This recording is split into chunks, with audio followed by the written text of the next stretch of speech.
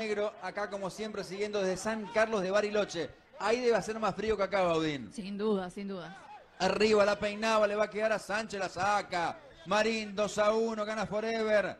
Después me cuenta el próximo rival del negro, dónde va a viajar. Marcaba Barinaga, recuperaba Bayer. Descarga para Schoenfeld, la jugó para que de primera descargó muy bien para López. Era Atis, la va sacando, allí quemaba y la sacaba Jair Marín completaba el despeje, ahora Díaz, se viene el equipo verde, ojo que esto no está terminado, va a meter el centro, metió el centro al arco, en realidad golazo,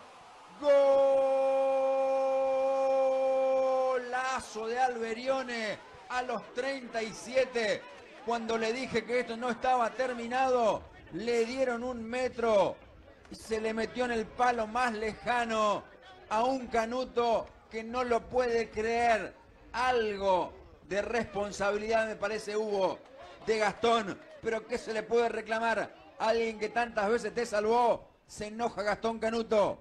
2 a 2 el partido. Reacomodándose en la línea final el equipo de Chaco Forever con una salida rápida del equipo de Unión. El riesgo y el peligro no pasa porque puede seguir proponiendo. Vemos el centro de Medina posicionado Alberione en ese remate y quien pensó que se iba por encima era Gastón Canuto, no que iba a entrar al arco. El remate eh, fue directo al, al, arco de Alberione con la salida y el cambio de frente de Medina.